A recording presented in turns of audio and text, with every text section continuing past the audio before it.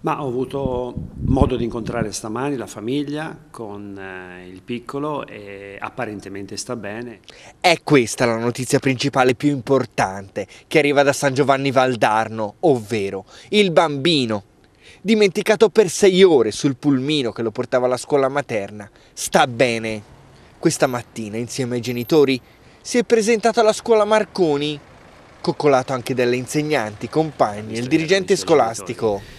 So che ci sono stati degli accertamenti clinici, il più importante stamani è poter vedere di persona che eh, con i propri genitori erano in situazione tranquilla.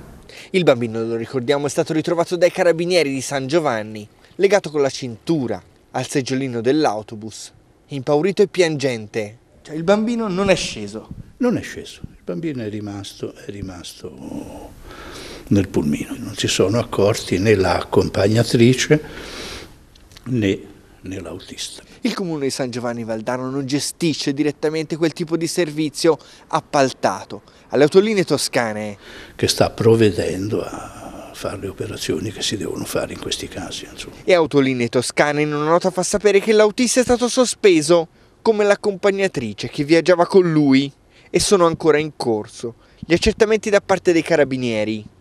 E qua alla scuola, ci dice il dirigente, gli insegnanti non si sono allarmati, della non presenza del bambino in quanto i giorni precedenti era assente per malattia, quindi hanno pensato ad un allungamento della convalescenza. Fra l'altro nel mese di febbraio, soprattutto la scuola dell'infanzia, la percentuale di assenti è molto alta, visto che nei momenti dei picchi influenzali molti bambini rimangono a casa e la scuola pensa a qualche provvedimento in più per prevenire questi fatti. Se non adottassimo degli ulteriori mh, provvedimenti a salvaguardia della tutela dei bambini sarebbe da parte nostra quantomeno da incoscienti. Dall'altra parte la scuola è solita tenersi in contatto con le famiglie. I cittadini di San Giovanni chiedono che siano accertate le responsabilità. Perché comunque è un fatto gravissimo, per comemorare tre anni da solo per sei ore.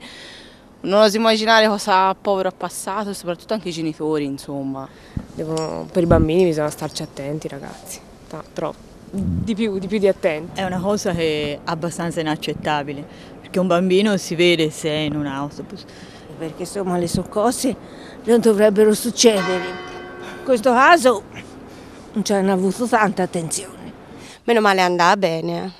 Ci sono dei casi che comunque sono andati in peggior dei modi, quindi siamo contenti per quelli. Ecco.